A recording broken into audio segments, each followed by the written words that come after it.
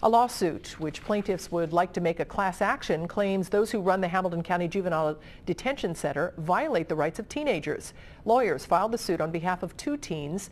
They say police arrested a 17-year-old in September for armed robbery, and he stayed in custody nearly a month before having a probable cause hearing.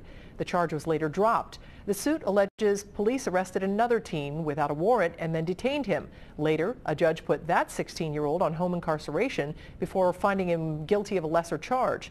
The suit seeks to prevent local authorities from holding a juvenile more than 48 hours without a probable cause hearing.